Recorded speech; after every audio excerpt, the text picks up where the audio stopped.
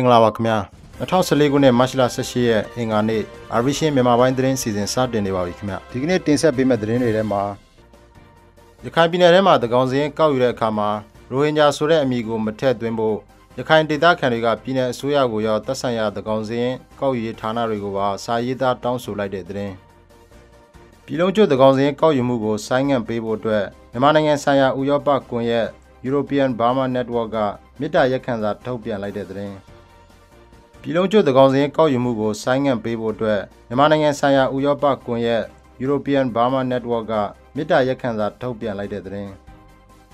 မြန်မာနိုင်ငံလူ့အခွင့်ရေးဆိုင်ရာနောက်ဆုံးအစီရင်ခံစာကိုမစ္စတာကင်တာနာကလူ့အခွင့်ရေးကောင်စီမှမနေ့ကတင်သွင်းလိုက်တဲ့သတင်းတွေနဲ့အတူ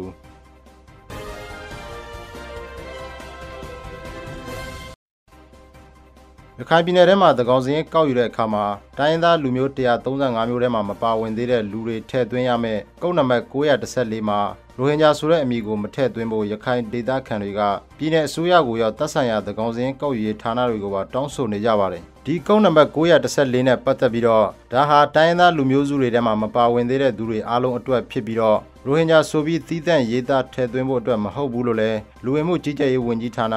ဝန်ကြီးဦးခင်ကြီးကလည်းရှင်းလင်းပြောဆိုထားပြီးသားဖြစ်ပါတယ်ရခိုင်ပြည်နယ်အတွင်းကမွတ်စလင်တွေနဲ့ပတ်သက်ပြီးတော့ပြည်ထောင်စုအစိုးရကဖြစ်စေဗဟိုတကောင်စင်းကော်မရှင်ကဖြစ်စေရိုဟင်ဂျာအမည်ကိုထည့်သွင်းရေးသားခွင့်မပြုကြောင်းကြေညာချက်ထုတ်ပေးဖို့ရခိုင်ဒေသခံတွေကဗဟိုတကောင်စင်းကော်မရှင်ကိုဒီကနေ့စာရေးသားပေးဖို့တောင်းဆိုလိုက်ပါတယ်။သူတို့တောင်းဆိုချက်ထဲမှာအစိုးရအနေနဲ့အဲ့ဒီတောင်းဆိုချက်ကိုမတ်လ21ရက်နေ့နောက်ဆုံးထားပြီးတော့ထုတ်ပြန်ကြေညာပေးရမှာဖြစ်ပြီး အဲ့ဒီလိုမကြေညာပေးဘူးဆိုရင်တကောင်စင်းစီမံကိန်းကိုတပိတ်မှောက်သွားမှာဖြစ်တယ်လို့စာရေးသားပေးဖို့ရမှာဥဆောင်ပါဝင်သူတဦးရဲ့ပြောပြချက်ကို RFA သတင်းတပုတ်မှာဖော်ပြထားပါတယ်ဒီကနေ့ဗဟိုတကောင်စင်းကော်မရှင်ကိုပေးပို့တဲ့စာကိုနိုင်ငံတော်သမ္မတဦးသိန်းစိန်အပါအဝင်လွတ်တော်ဥက္ကဋ္ဌတွေနဲ့ရခိုင်ပြည်နယ်ဝန်ကြီးချုပ်ဦးလှမောင်တင်စီကိုလည်းပေးပို့ထားတယ်လို့သိရပါတယ်အခုဆိုရင်ရခိုင်ပြည်နယ်ထဲမှာတကောင်စင်းကောက်ယူမဲ့သူတွေကိုမတ်လ18ရက်နေ့ကလေးကတင်နန်းတွေစပေးနေပြီဖြစ်ပြီးတော့ ရခိုင်ပြည်နယ်ထဲမှာရိုဟင်ဂျာဆိုတဲ့တိုင်းရင်းသားမရှိဘူးဆိုပြီးတော့သူတို့ကထဲသွင်းရေးသားမှာမဟုတ်ဘူးလို့လည်းရခိုင်ပြည်နယ်အစိုးရတာဝန်ရှိသူတွေကပြောနေကြပါတယ်ပြီးခဲ့တဲ့မတ်လ16ရက်နေ့ကလည်းစစ်တွေမြို့အပါအဝင်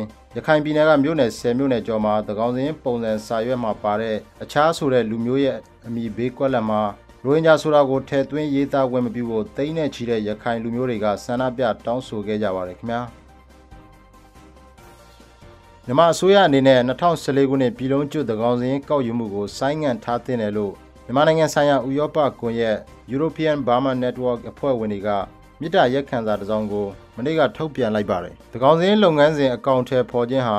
မြန်မာနိုင်ငံမှာလက်ရှိဖြစ်ပေါ်နေတဲ့လူမျိုးရေးဘာသာရေးတင်းမာမှုတွေကိုပုံမဆိုးရွားစေနိုင်တဲ့အတွက်ဆိုင်းငံ့ထားစေလိုကြောင်းအဲ့ဒီအဖွဲ့ရဲ့ထုတ်ပြန်ချက်မှာဖော်ပြထားပါတယ်။တကော င်စင်းဥပဒေအရအခြားအမည်ထည့်သွင်းရမယ့်ကုတ်နံပါတ်914မှာရခိုင်ဒေသမှာရှိတဲ့အစ္စလမ်ဘာသာဝင်တွေကိုရိုဟင်ဂျာလို့ထည့်သွင်းရင်လူဦးရေအများစုမှာရိုဟင်ဂျာလို့စည်ရင်းပေါ်ပေါက်မှာကိုစိုးရိမ်ပြီးတော့ရခိုင်လူထုတွေကပြီးခဲ့တဲ့မတ်လ16ရက်နေ့ကဆန္ဒဖော်ထုတ်ခဲ့ကြတာကိုလည်းထောက်ပြထားပါတယ်။အလားတူပဲအခုသကောင်စင်းကောက်ယူမှုကိုဘယ်လ်ဂျီယံနိုင်ငံအခြေစိုက်ပြည်ပခလေးလာစောင့်ကြည့်ရေးအဖွဲ့ ICG ကလည်းပြည်တွင်းငြိမ်းချမ်းရေးကိုထိခိုက်နိုင်တယ်ဆိုပြီးတော့ပြီးခဲ့တဲ့ဖေဖော်ဝါရီလထဲမှာသတိပေးခဲ့ပါတယ်။ အခုသကောင်စင်းကောက်ယူမှုမှာအငင်းပွားဝယ်ရာအချက်လက်တွေပါဝင်နေတာကြောင့်ငြိမ်းချမ်းရေးလုပ်ငန်းစဉ်တွေတင်းမာလာမှုပုံမများပြားလာနိုင်တဲ့အခြေအနေအန္တရာယ်မျိုးတွေရှိနေတယ်လို့လည်း ICG ကဆိုထားပါတယ်။လက်ရှိမှာပြည်လုံးကျွတ်သကောင်စင်းကောက်ခံဖို့အတွက်အစိုးရနဲ့တိုင်းရင်းသားအဖွဲ့တွေကြားမှာလည်းကျေလည်မှုမရရှိသေးတဲ့အကြောင်းမြစည်းမသတင်းတပုတ်မှာဖော်ပြထားပါတယ်ခင်ဗျာ။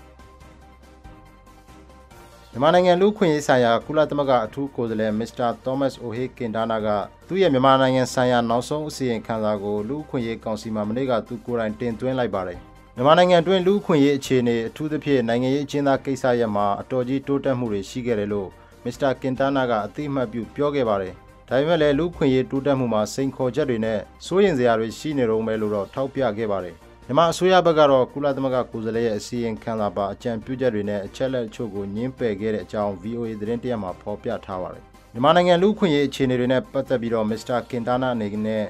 မနေ့ကကုလသမဂ္ဂလူ့ခွင့်ရေးကောင်စီကိုတင်ပြဆွေးနွေးသွားရမှာ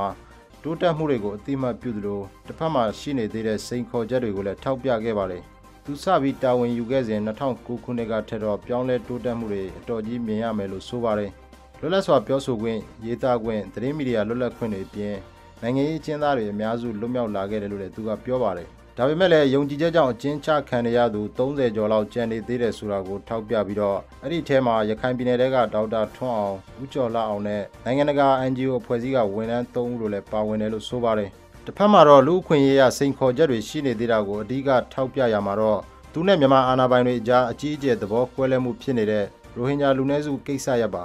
မြန်မာနိုင်ငံတွင်းကရိုဟင်ဂျာလူမှုအတိုင်းဝိုင်းမှာစနစ်တကျကိုလူအခွင့်အရေးချိုးဖောက်ဖိနှိပ်တာတွေခံရရုံပဲဖြစ်ကြောင်း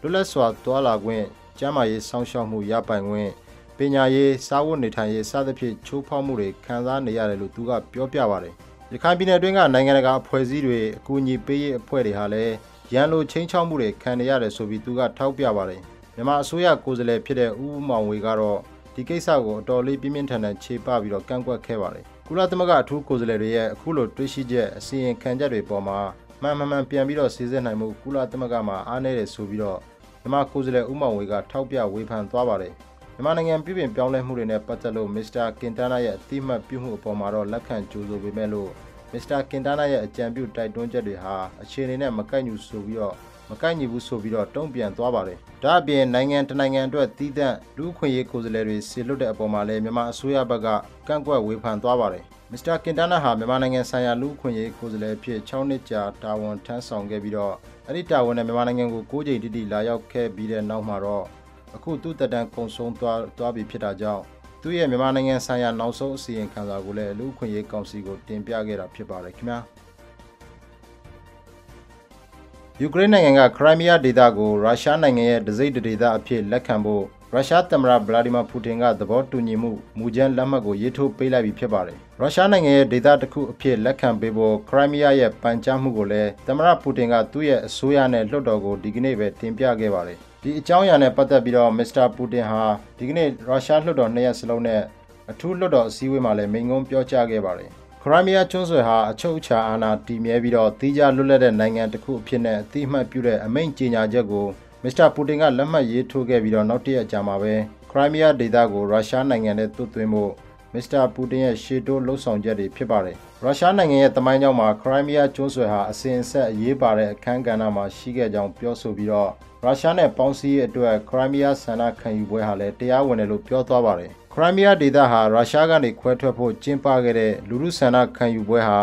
တရားမဝင်ဘူးလို့ကြေညာခဲ့တဲ့အမေရိကန်နဲ့ဥရောပသမဂ္ဂကိုအာခံပြီးတော့သမ္မတပူတင်ကဒီအမိန့်ကြေညာချက်ကိုလက်မှတ်ရေးထိုးခဲ့တာလည်းဖြစ်ပါတယ်။အ မေရိကန်နဲ့ဥရောပသမဂ္ဂတို့ကအကြိမ်ကြိမ်သတိပေးခဲ့ပြီးတဲ့နောက်မှာခရိုင်းမီးယားဆန္ဒခံယူပွဲကိုရုရှားကထောက်ခံခဲ့တဲ့အတွက်ရုရှားထိပ်တန်းအရာရှိတွေပေါ်မှာမနေ့ကပဲပထမအကြိမ်အရေးယူပိတ်ဆို့မှုတွေပြုလုပ်ခဲ့ပြီးတော့နောက်ထပ်လည်းအရေးယူပိတ်ဆို့မှုတွေပြုလုပ်သွားမှာဖြစ်တဲ့အကြောင်းအမေရိကန်ကဒီကနေ့ပဲကြေညာချက်ထုတ်ပြန်လိုက်ပါတယ်အခုဒီလိုလှုပ်လိုက်လို့ယူကရိန်းနဲ့အနောက်နိုင်ငံတွေကတစ်ဖက်ဖြစ်နေပြီးတော့သူတို့နဲ့ရုရှားကြားမှာရှိနေတဲ့တင်းမာမှုတွေဟာလည်းပိုပြီးတော့တိုးမြင့်သွားနိုင်တဲ့အကြောင်းအကဲခတ်တွေကလေ့လာသုံးသပ်ကြပါတယ်ခင်ဗျာ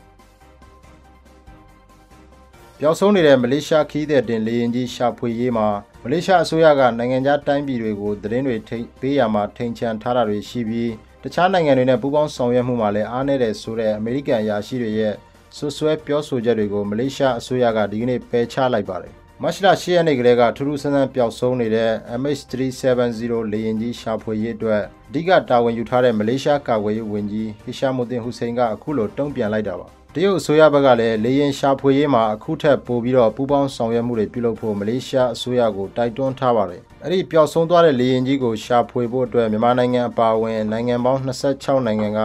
ဝိုင်းဝန်းရှာဖွေနေကြဆဲဖြစ်ပြီးတော့တဲလွန်စာမရရှိသေးတဲ့အတွက်လည်းမလေးရှားအာဏာပိုင်တွေရဲ့ကင်တွယ်ဆောင်ရွက်ချက်တွေပေါ်မှာပြစ်တင်ဝေဖန်မှုတွေတိုးလာနေတာဖြစ်ပါတယ်။မလေးရှားအစိုးရဘက်ကတော့နိုင်ငံတကာကပြစ်တင်ဝေဖန်နေတာကိုမဟုတ်မှန်ကြောင်းညင်းဆိုလိုက်ပါတယ်ခင်ဗျာ။ အစ္စရေးနဲ့ငြိမ်းချမ်းရေးသဘောတူညီမှုရရှိနိုင်ဖို့ခိုင်မာတဲ့ဆုံးဖြတ်ချက်နဲ့စွန့်စားဖို့ပါလက်စတိုင်းသမ္မတမဟာမုဒ်အဘတ်ကိုအမေရိကန်သမ္မတဘရက်အိုဘားမားကတိုက်တွန်းလိုက်ပါတယ်။သမ္မတအိုဘားမားနဲ့ပါလက်စတိုင်းသမ္မတတို့ဟာမနေ့ကတနင်္လာနေ့တုန်းကအင်ဖြူတော်မှာတွေ့ဆုံပြီးတော့ရှေ့မဆက်နိုင်ပဲဖြစ်နေတဲ့အရှေ့လယ်ပိုင်းအရေးကိုဆွေးနွေးခဲ့ကြတာပါ။ဒီချိန်ထဲမှာပဲအစ္စရေးအကျဉ်းထောင်တွေထဲမှာဖမ်းဆီးထားတဲ့ပါလက်စတိုင်းတွေကနောက်ဆုံးအသုတ်ကိုဒီလကုန်နောက်ဆုံးထားပြီးတော့ပြန်လွှတ်ပေးဖို့လဲသမ္မတအိုဘားမားက အစ္စရေးဝန်ကြီးချုပ်ဘန်ဂျမင်နက်တန်ယာဟုကိုတောင်းဆိုလိုက်ပါတယ်ငြိမ်းချမ်းရေးရနိုင်ဖို့အတွက်သက်ဆိုင်သူတွေအားလုံးအနေနဲ့အပေးအယူလုပ်ကြရလိမ့်မယ်လို့လည်းပြောဆိုခဲ့ပါတယ်။အစ္စရေးနဲ့ပါလက်စတိုင်းတို့အကြားငြိမ်းချမ်းရေးဆွေးနွေးနိုင်မဲ့အခြေခံလုပ်ငန်းစဉ်တရက်ကိုဧပြီလ29ရက်နေ့နောက်ဆုံးထားရေးဆွဲဖို့သတ်မှတ်ထားတဲ့အချိန်မှာအမေရိကန်သမ္မတနဲ့တွေ့ဆုံခဲ့တဲ့ပါလက်စတိုင်းခေါင်းဆောင်ရဲ့ခီးစဉ်ကိုတော့အနောက်ဘက်ကမ်းခြေဒေသကလမ်းမတွေပေါ်မှာ ပါလက်စတိုင်းသားထောင်ပေါင်းများစွာကထောက်ခံအားပေးခဲ့ကြတဲ့အကြောင်း VOA သတင်းတရက်မှာဖော်ပြထားပါတယ်ခင်ဗျာ။